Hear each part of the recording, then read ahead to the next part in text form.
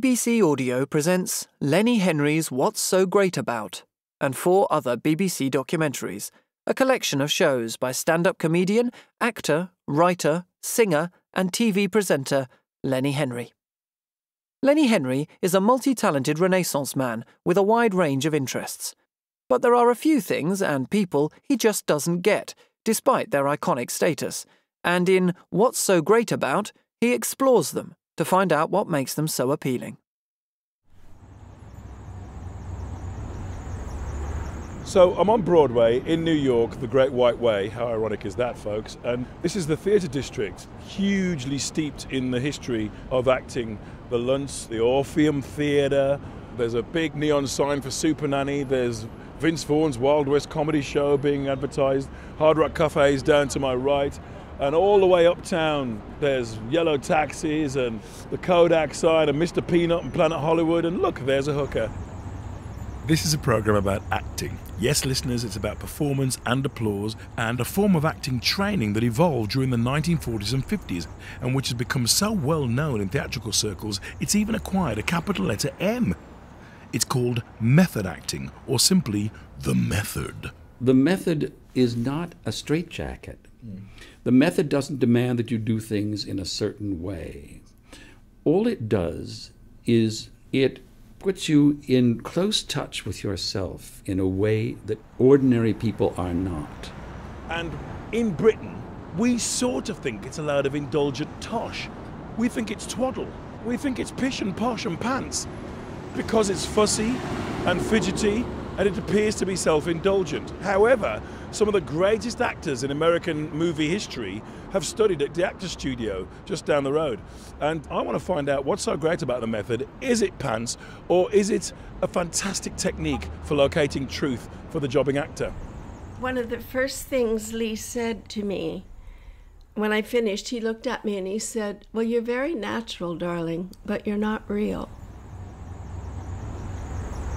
I've just walked down a couple of blocks from Broadway, uh, past Sardi's and past Spamalot, and the, the further away you get from Broadway, the smellier it gets. Lee Strasberg was its high priest, and it's been preached and practiced by the greats of Hollywood like Marlon Brando, Jimmy Dean, Elia Kazan, and Dustin Hoffman. But frankly, I've never really got it. What is it that makes the method so special? It's spoken of in hushed tones, like some Masonic ritual. I mean, surely it's just acting, isn't it? It's a training. It's not a style of theater. You see, that's why there is a misconception also there. There is no such a thing as method acting. The method is a name created by media. Lee Strasberg never said the method until the end of his life. He finally said, because of my exercises and the way I've developed my system of training, it can now honestly be called a method, the method. But he never said method acting. And because it's ultimately the key to some of America's most illustrious and glamorous international stars of the last, well, I don't know, 50 years, it's also got another big M attached to it an M for mystique. You know, you can make a long list Robert De Niro, Al Pacino, Estelle Parsons. We had Rod Steiger, we had Marlon Brando, James Dean. Like Nicholson, like Martin Landau, Ellen Burstyn, like Dustin Hoffman, like Jane Fonda. The women, Kim Stanley, Geraldine Page, Julie Harris, Maureen Stapleton, Uta Hagen. Directors like Arthur Penn, Sidney Lumet, Francis Ford Coppola drew on this play. And what you don't know is that the majority of the big stars today are all being coached by actor studio members.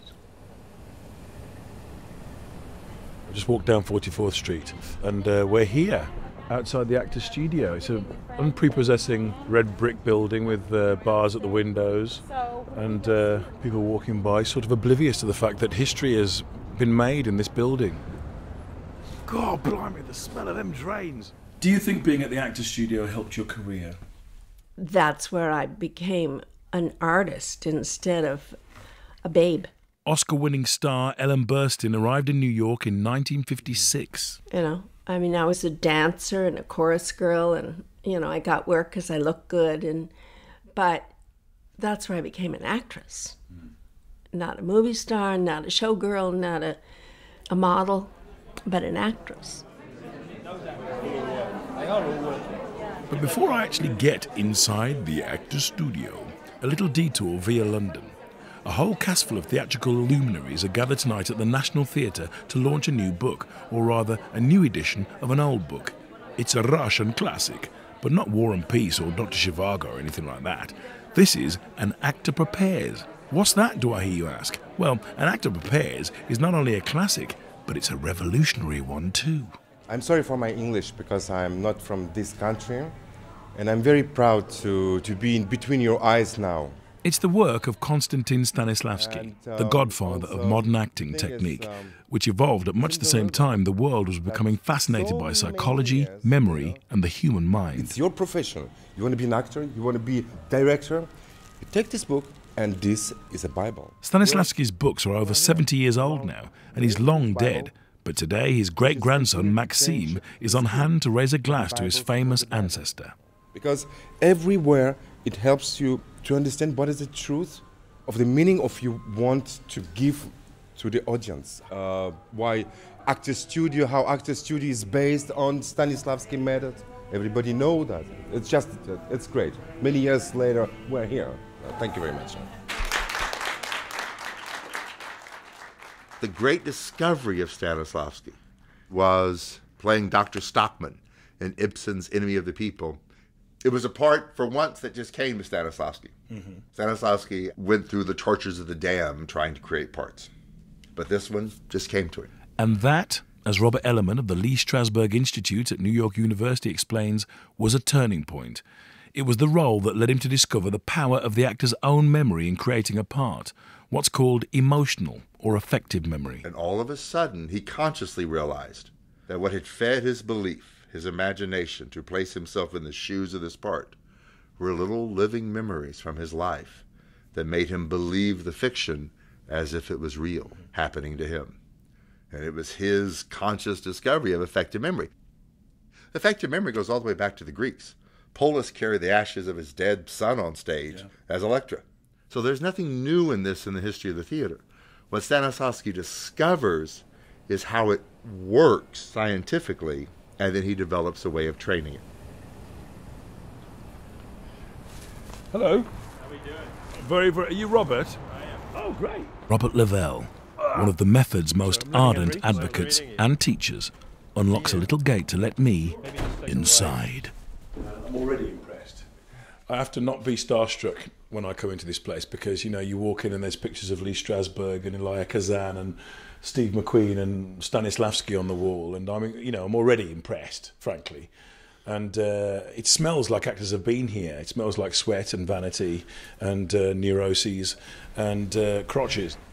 So everyone recognises the genius of Stanislavski, okay? But what about the method? Where did that come from? And is it better or just different? It all reminds me a bit of the way religions evolve and form sects, you know, with the new revolutionaries falling out with the true believers. When Stanislavski's emotional memory ideas took root in America in the 1930s, a group of pioneers led by a young actor director, Lee Strasberg, formed a troupe called the Group Theatre. It wasn't long before they were developing their own idiom, based on Stanislavski, but with an American accent. What the Actor Studio has tried to engender is creating work, acting, which is unpredictable and happening for the first time. Your job in Act One, Scene Two, when the phone rings, is to behave as though you didn't know it was going to ring. And it's doing it eight times a week, right? Okay. You also want a sort of acting which seems irreversible, that something's happening to these people that can't be undone, or something has changed in the arc of the play. And this is the story. Strasberg was a better teacher than director, and having unsuccessfully tried his hand in Hollywood, headed back east after the war. There, he and his colleagues created the Actors Studio. The Actors Studio mandate, it's a framed bylaw on the brick wall. It says, uh, Section 1 We are a voluntary association of the theatre artists, actors, directors, and playwrights who have come together to cause our talents to grow. Actors work on scenes that they would not ordinarily be assigned to It was play. founded in 1947 as a private place where actors who were then all living in New York, all working in the theater, all running off making films and coming back. It was a place where they could get out of the spotlight. Regularly burrowing inside the actor's studio is James Lipton. He used to be an actor and teacher of the method, but today he's the star presenter of an Actory TV interview show. We hope you enjoyed this preview.